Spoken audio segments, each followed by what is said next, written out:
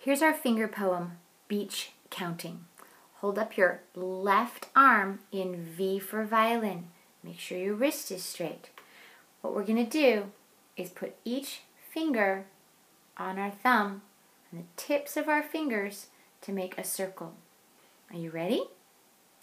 One for the sun that shone in the sky.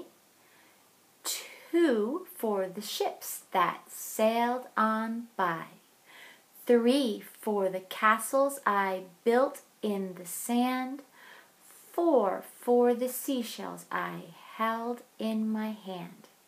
I'm going to do each finger. Finger number one, finger number two, finger number three, and finger number four. When we do it, we hold our violin, our V for violin arms the whole time, and we make sure the tip of our fingers lands on our thumbs.